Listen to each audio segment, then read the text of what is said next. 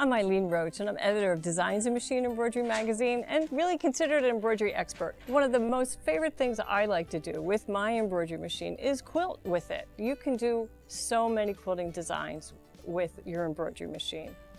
This mini row was stitched in about an hour and a half. It's five different hoopings. It includes roll edge applique and then some embellishments and couching over a twine that's supposed to resemble a, a clothesline. The best part about this is my hoop never comes off my machine. I have my mag magnetic hoop, my snap hoop monster attached to the machine. I'll hoop the first hooping and that's just quilting and then right at the machine, I'm just going to lift the top frame, store it over the head of the machine, and advance my fabric, drop the hoop back down, and continue quilting. Let me show you how easy that is to do. Of course, you're going to need the embroidery designs to make this mini quilt, and I'm using Life's a Beach from Designs in Machine Embroidery magazine.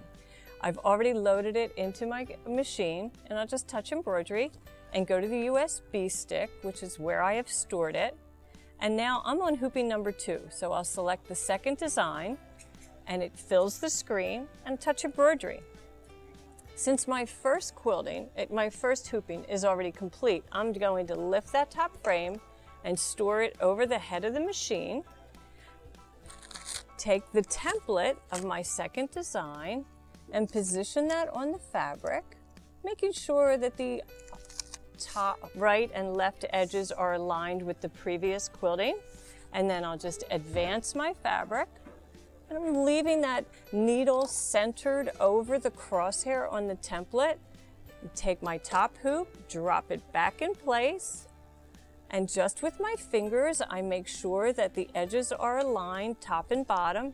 The beauty about this hoop is you can smooth and tug your fabric. You can make my, minute changes right at the needle without removing the whole hoop.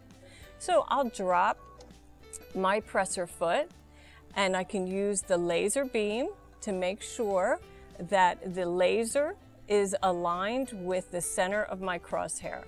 And that looks to me like it's a perfect alignment.